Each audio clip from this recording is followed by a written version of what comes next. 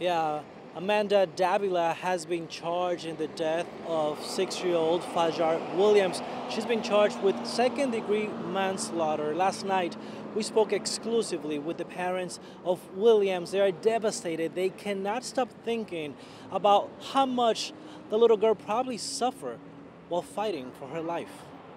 For these type of bus companies that's servicing children as handicapped, children in general. They need to know that when they take that job, they have lives in their hand.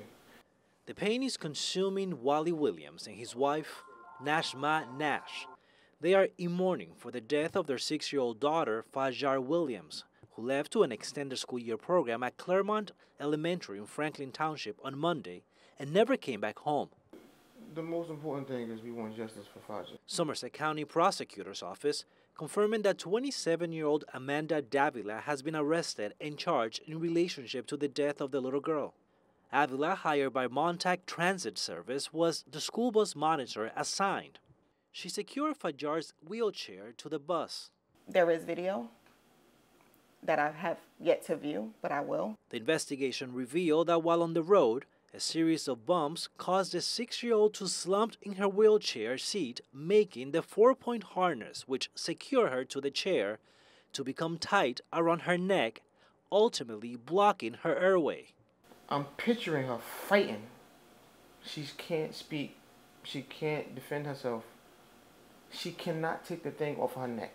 According to authorities, during the ride, the school bus monitor, Amanda Davila, was seated towards the front of the bus and was utilizing a cell phone while wearing earbud headphone devices in both ears. I pray that these people wasn't up there lollygagging, playing and joking on their phones while my daughter is back there fighting for her life. The investigation revealed that this was in violation of policies and procedures. I called Montauk and immediately they told me they have no information for me and Montauk Transit Service right behind me here in New Brunswick. We have contacted them multiple times, but they have not responded to our request. Davila is expected to be back in court on Tuesday. I'm Eliezer Marte. Back to you.